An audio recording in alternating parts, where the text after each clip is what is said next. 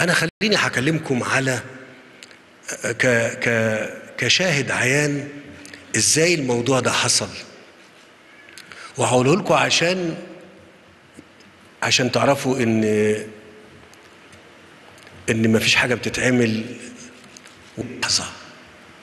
ده فكر وخطة وترتيب وإجراءات بتتعمل عشان في النهاية ندخل إحنا في اللي إحنا دخلنا فيه. العشر سنين اللي فاتوا. وأنا مش بقول حكاية أنا بقول لكم وقائع. كنت أنا نائب مدير المخابرات في 2009 ف فكنا بنعمل لقاءات عشان مناقشة الوضع الأمني في سينا. وأنا بقول الكلام ده لكل المصريين وللظباط الصغيرين اللي موجودين فوق. وحتى للظباط الشرطة كمان.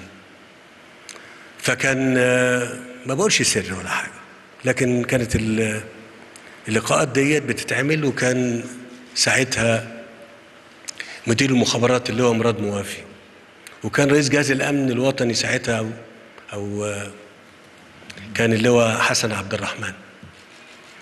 فكنا بنناقش الوضع فكنا شايفين إن خلال سبع سنين اتشكلت بنية أساسية ضخمة في شمال سيناء.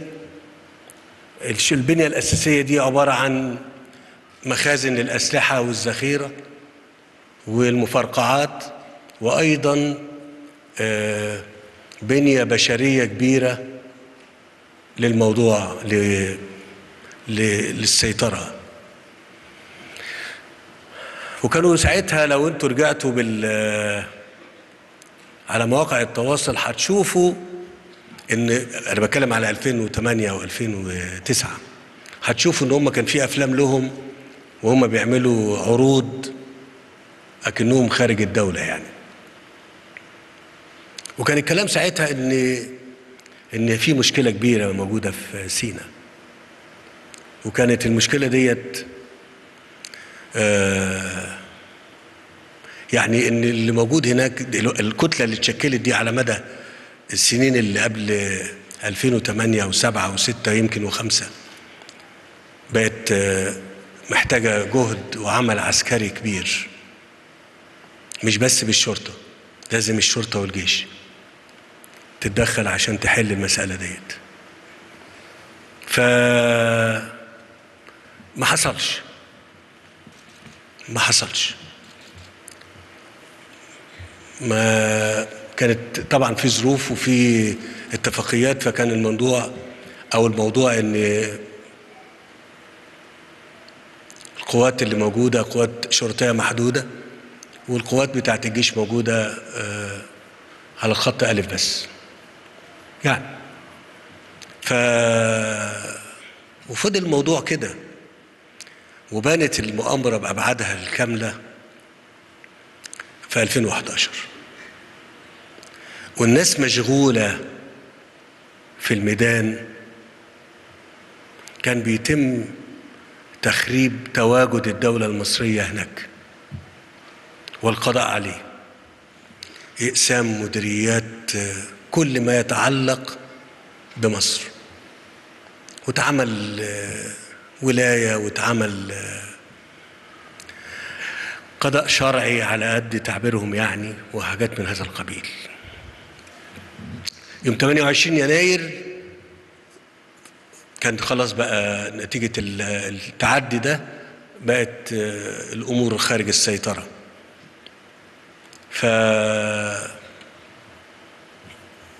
الله يرحمه سيادة المشير قلت له يا فندم إحنا ممكن تبقى في مشكلة كبيرة جدا لو الأمر استمر كده. لأن هم ممكن يعملوا عمليات عبر الحدود ضد إسرائيل فلازم إسرائيل هترد. وطبعا دي هتبقى مشكلة كبيرة جدا ممكن تؤدي إلى صراع كبير قوي. وده ممكن يكون هو هدفهم في النهاية يعني.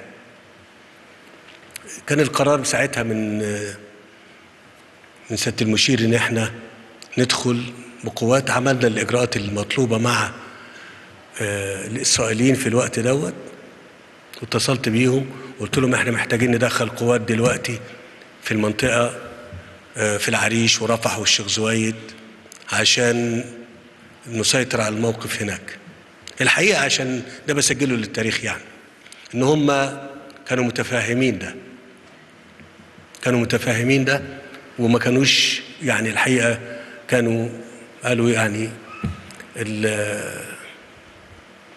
بس ادونا خبر القوات اللي هتبقى موجودة قد إيه ونسقوا معانا يعني.